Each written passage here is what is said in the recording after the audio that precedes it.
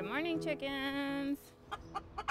I think there's so much value in knowing where your food comes from. All right, thank you all. Three eggs. My kids have this strong connection to where eggs come from, right? They come from the chickens in our backyard.